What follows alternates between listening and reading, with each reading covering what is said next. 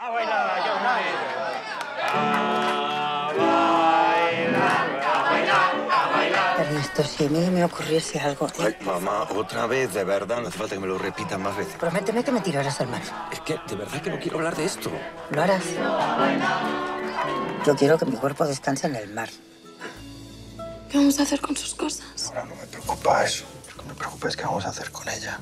Estás completamente loco. ¿Cuándo mamá ha seguido las normas? Pero que no se puede tirar un cadáver al mar. Que está prohibido, Ernesto.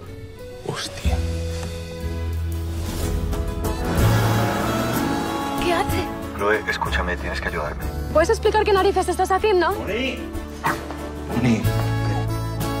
¿Has metido a la abuela en un armario? no es un armario. ¿Y esta furgoneta dónde ha salido? Es de mi amigo Pedro el Mago. ¿Alguna pregunta más? ¿Se te ha ido la olla o qué? Dime que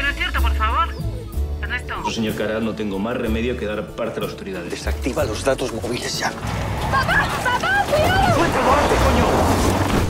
Lo que estás haciendo es muy valiente, papá.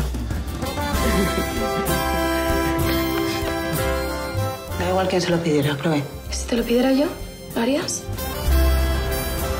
¿De verdad quieres que llevemos a la abuela al mar? Sí. Sí. La vamos a llevar todos. Dios mío, qué locura.